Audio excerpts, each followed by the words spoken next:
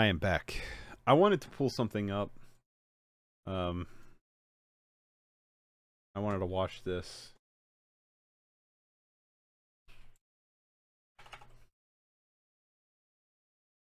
The Infinity Pool trailer.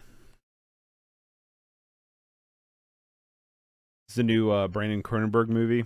Hopefully, this isn't a Red Band trailer. Is it? Potentially not. um, whatever. I want to see this. I don't understand Baby what Cronenberg's new movie. barely these people. One day let's mix things up a bit. You're just happy you found your fan club. I've been waiting six years for your So I like a lot of the cinematography already. Some of the shot composition they're using. You married Rich. Drench anything in red, and then I'm a fan of it. Actually came here looking for inspiration. Mia Goth. She's just been in a ton of cool stuff here recently. One of the Skarsgårds. I think it's the Northman Skarsgård. is the lead. Mr. James Foster, you'll have to come with us. Here, the punishment for any crime committed is death. What? What did you say?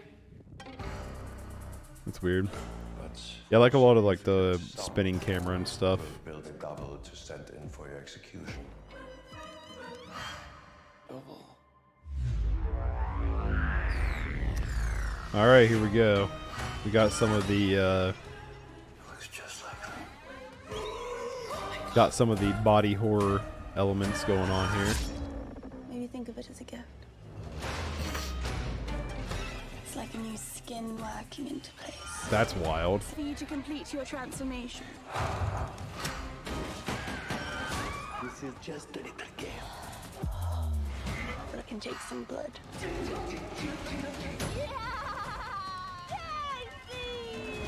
Show me how strong. All right, this looks awesome. It's really disgusting. Yeah, this looks sweet. You could just Brandon see- Cronenberg's really cool because he's like, I don't want to say this the wrong way, but like he's like basically so heavily influenced by his own dad that um, he basically just makes David Cronenberg movies. But he does have his own unique style that uh, does make him seem different.